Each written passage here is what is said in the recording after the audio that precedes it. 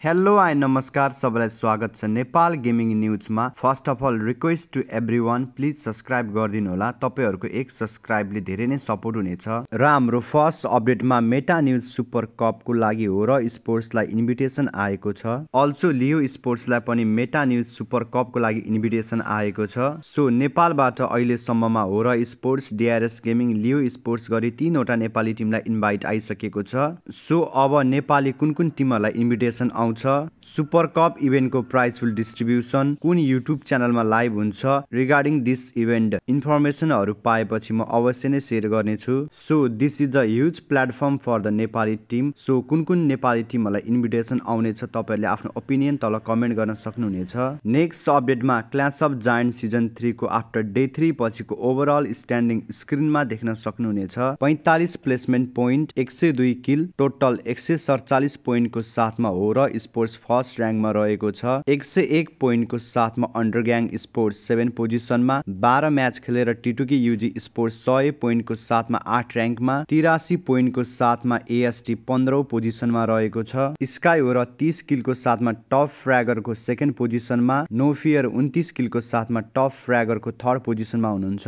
Also clash of जायन्ट्सको prize will कति रहेको छ भनेर मलाई सोधिरहनु भएको थियो। सो प्राइस विल डिस्ट्रिब्युसन स्क्रिनमा देख्न सक्नुहुनेछ। सर्भाइभल स्टेजमा ग्रुप ए को लागि हजार डलर ग्रुप बी को लागि हजार डलर गरी दुई हजार डलर रहेको छ। प्ले अफको लागि तिन हजार डलर र ग्रान्ड फाइनलको लागि पन्ध्र हजार डलर रहेको छ। ग्रान्ड फाइनलमा च्याम्पियन हुने टिमको लागि पाँच हजार डलर र बाँकी ऱ्याङ्कहरूको लागि कति कति प्राइज डिस्ट्रिब्युसन रहेको छ भिडियोलाई पज गरेर हेर्नुहोला। नेक्स्ट सब्जेक्टमा टिटुके युजी स्पोर्ट्स क्लास अफ जायन्ट्सको सर्भाइभल स्टेजको डे टूबाट कसरी खेल्न पाउनु भएको? सो कुरा अफिसियलले क्लियर रूपमा मेन्सन गरिदिनु भएको छ। निगमा ग्यालेक्सीको रिप्लेसमेन्टमा टिटुके युजी स्पोर्ट्स फ्रम डे टूबाट खेल्नु भएको भनेर नेक्स्ट अपडेटमा नेपालको अन्डरडग टिम फो अफिसियलमा तिनवटा प्लेयरहरूको एडिसन भएको छ। सिकारी डेमन साङ नेक्स्ट अपडेट रहेको छ प्रिसियसको तर्फबाट अबाउट प्रिसियस डिईको तर्फबाट।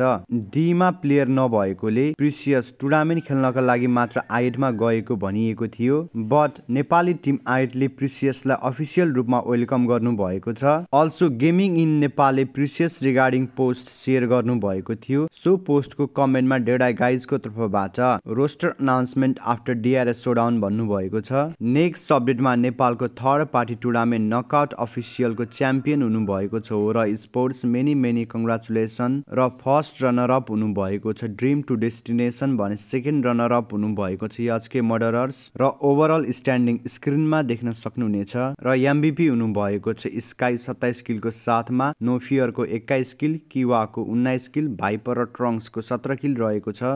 नेक्स्ट अपडेटमा डिआरएस विन्टर सोडाउनको राउन्ड अफ एक सय अठाइस आजदेखि रहेको छ। प्रत्येक ग्रुपबाट टप सेभेन क्वालिफाई हुनेछ नेक्स्ट राउन्डको लागि। स्न्याप वाइटीले सेयर गर्नु भएको छ। उहाँको टिमको लागि राउन्ड अफ एक सय अठाइसबाट क्वालिफाई हुन धेरै गाह्रो नहुने। राउन्ड अफ सिक्सटी फोरमा इन्भाइटेड टिमहरू भएकोले round of sixty four tough हुने भनेर सेयर गर्नु भएको छ।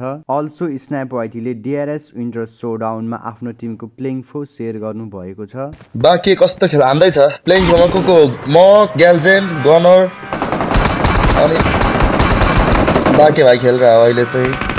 अल्सो डिआरएस विन्टर सोडाउनको राउन्ड अफ टूबाट क्वालिफाइड टिमहरूको डिटेल्स थाहा छैन भने चेकआउट गर्न सक्नुहुनेछ। मैले भिडियो बिहानै अपलोड गरिसकेको छु। नेक्स्ट अपडेटमा ऱ्याडेज इन्भिटेसनल सोडाउनको ओभरअल स्ट्यान्डिङ स्क्रिनमा देख्न सक्नुहुनेछ। टप सेभेन्टिन टिमहरू क्वालिफाई हुनुभएको छ ग्रान्ड फाइनलको लागि। ग्रान्ड फाइनल आठ ज्यानदेखि इलेभेन ज्यानसम्म रहेको छ। ऱ्याडेज इन्भिटेसनल सोडाउनको ग्रान्ड फाइनलको डेट र डिआरएस विन्टर सोडाउनको सेमी फाइनलको डेट क्ल्यास भएको छ। यदि सो डेटमा टुर्ना टुर्नामेन्टको स्टार्टिङ टाइम फरक भएमा मात्र ऱ्याडेज इन्भिटेसनल सोडाउनमा नेपाली टिम खेलेको देख्न पाउनेछौँ। सो आजको लागि न्युज एन्ड अपडेटहरू यति नै रहेको छ र मैले सेयर गरेको न्युजहरू तपाईँहरूलाई कति मनपर्छ सोको प्रतिक्रिया तल कमेन्ट गर्न सक्नुहुनेछ। यदि नयाँ हुनुहुन्छ भने च्यानललाई सब्सक्राइब गरिदिनु होला